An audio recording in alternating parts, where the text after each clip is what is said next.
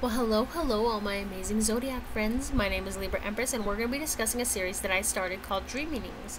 Now, remember that this is a general reading, and this is for yours as well as for my entertainment. And also, please don't forget to hit like, subscribe, and share. That way, you'll always be up to date with the content that I produce, and you'll be a part of our family. Now, let's get going on this chapter. This chapter is consisted to be called Flood. All right.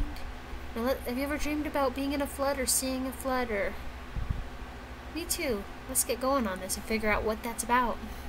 Now, my friends, water is an, a universal symbol of emotion or for emotion, and thus a dream of a flood indicates that a plethora of deep feelings is coming the you know is coming the dreamer's way. If the flood is warm, gentle, and comforting, the feelings will be positive and possibly could even involve romance. But if the flood is dark, cold, and overwhelming, be prepared for emotional turmoil. Now, being swept away by a flood warns that someone of the opposite sex whom you trust may be trying to use you.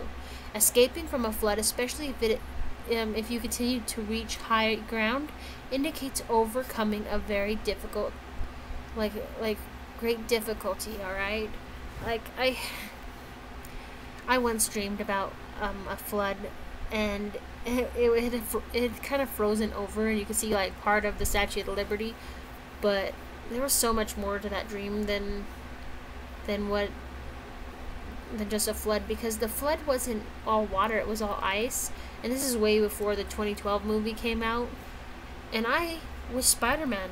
Yeah so i mean you can definitely tell where i was back then now I love you. You're going to have a great day. Thank you so much for listening to me.